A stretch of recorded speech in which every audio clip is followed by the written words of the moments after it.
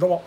D チャンネルのデベスでございます。いやーちょっとね今回の動画はいつにも増してね本当なんてことない動画になるんですけどもちょっとね自分があこれはもう諸行無常だなと感じた瞬間がありましてちょっとね、その様子っていうのをご覧いただければというふうに思っております。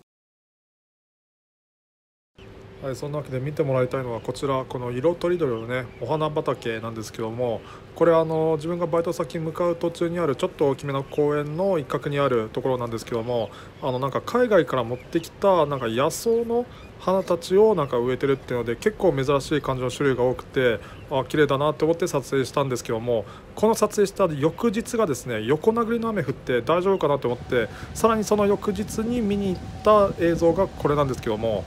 えーこんな感じですねもう思いっきりね強風にさらされてぶっ倒れちゃってるんですよね花たちが。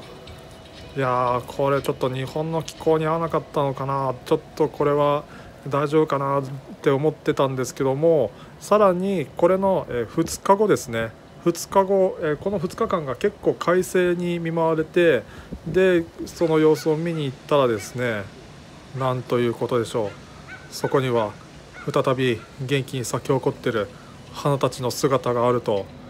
いやあんだけねペタンとあの横たわってたのにこんなにねシャキッとあの咲き咲き直すって言いますか。こんな感じでねまたこう立ち直るんだっていうのはですねやっぱもともと野草ならではの感じなのかなと思って結構感動したんですけども。えそこからさらに一月経った後にまた結構強めの雨が降ってまたこんな感じでですね横殴りのちょっと倒れた感じになっちゃったんですよね。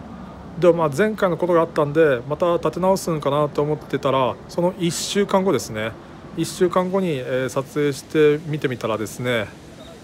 えー全部撤去されてるっていうね。いやこれはびっくりしましたね。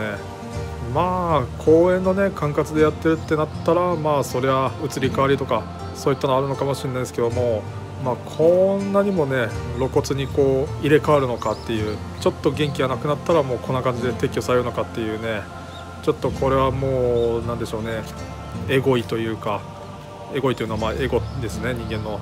ちょっとそういったのを感じた瞬間ですね。まあまたいずれねここに何かしらの、えー花とか奪われると思うんでまあそれを楽しみしながら、えー過ごそうかなと。そんななんでもない動画でした。